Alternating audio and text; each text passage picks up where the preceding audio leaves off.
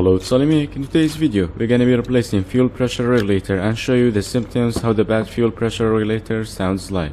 Bad fuel pressure regulator will cause rich burning, which means sending more fuel than the recommended amount, or lean burning, which is sending less fuel than the recommended amount. So in both cases, engine will lag and misfire sometimes. If the engine lags at low RPM, it means more fuel entering combustion chamber due to closed pressure regulator and if the engine lags at high RPM, it means less fuel entering combustion chamber, and that happens in many cases. Stuck open pressure regulator, clogged fuel filter, clogged fuel injectors, or a bad fuel pump. Fuel pump pushes gas through filter and passes pressure regulator and then reaches fuel injectors. Next, fuel pressure regulator open and release excessive pressure and keep the pressure steady at all times.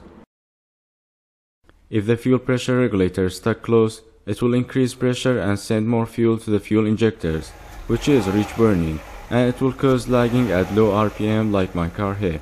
And if the fuel pressure regulator stuck open, it won't let the fuel reach to the recommended pressure, because more fuel returns to the gas tank than sending to the injectors, and that causes lean burning and the engine will lag at high RPM.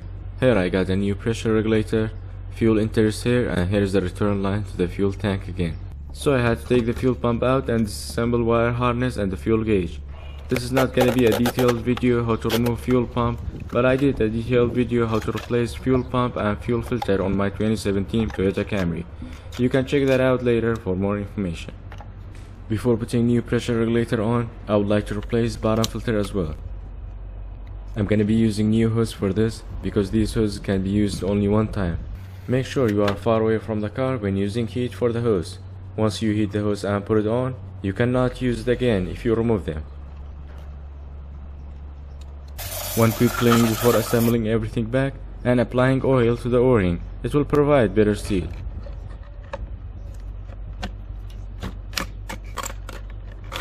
And the last thing, putting wire harness and the fuel gauge back.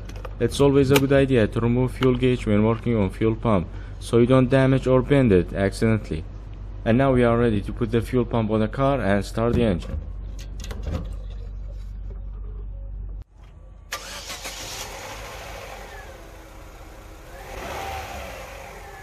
With the new fuel pressure regulator, there is no lag and instant acceleration on the engine.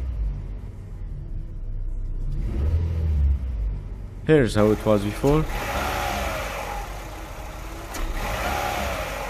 And here is how it is now.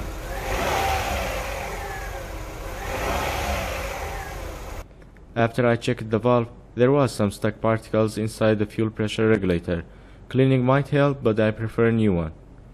Hope I gave you a good explanation how fuel pressure regulator work and how they look when they go bad. So that's for this video. Hope the video was helpful and learned something new. If it was, like and subscribe if you haven't already, and I will see you in the next one. Bye for now.